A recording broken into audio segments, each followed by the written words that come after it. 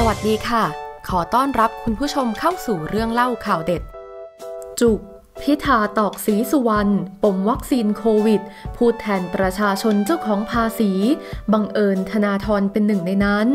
พิธาตอกสีสุวรรณปัดปกป้องธนาธรปมวัคซีนโควิด แจงพูดแทนประชาชนเจ้าของภาษีหมื่นล้าน บังเอิญธนาธรเป็นหนึ่งในนั้น ที่ศูนย์ประสานงานพักเก้าไกล เขตบางขุนเทียน นายพิธาลิ้มเจริญรัตหัวหน้าพักเก้าไกล กล่าวถึงกรณีที่นายศรีสุวรรณจันยา เลขาธิการสมาคมพิทักษ์รัฐธรรมนูญไทย ออกมาเตือน กรณีที่พักออกหน้าปกป้อง นายธนาธรจึงรุ่งเรืองกิจ ประธานคณะก้าวหน้า เรื่องวัคซีนโควิด -19 ที่อาจจะเข้าข่าย ยอมให้บุคคลอื่นชี้นำพักตามมาตรา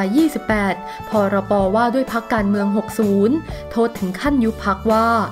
เรื่องนี้ตนพูดแทนประชาชน และนายธนาธรกลายเป็นหนึ่งในประชาชน ซึ่งตนไม่ได้พูดถึงนายธนาธรและไม่มีความจำเป็นที่จะต้องพูดแทนนายธนาธรทั้งนี้ตนพูดแทนประชาชนที่เป็นเจ้าของภาษี 4,000 กว่าล้านในตอนแรก และจะกลายเป็นหมื่นกว่าล้านในมติของคอรมอซึ่งเงินจำนวนนี้เป็นเงินที่มาจากภาษีประชาชน จึงมีสิทธิ์ที่จะตั้งคำถามว่าเป็นการกระจายความเสี่ยงที่เหมาะสมหรือไม่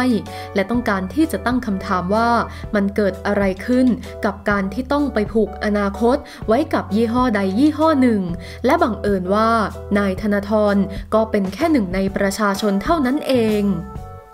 ขอขอบคุณข้อมูลดีๆ จากข่าวสด อย่าลืมกดติดตาม พร้อมทั้งคอมเมนต์แสดงความคิดเห็น ขอบคุณที่รับชม แล้วเจอกันใหม่ค่ะ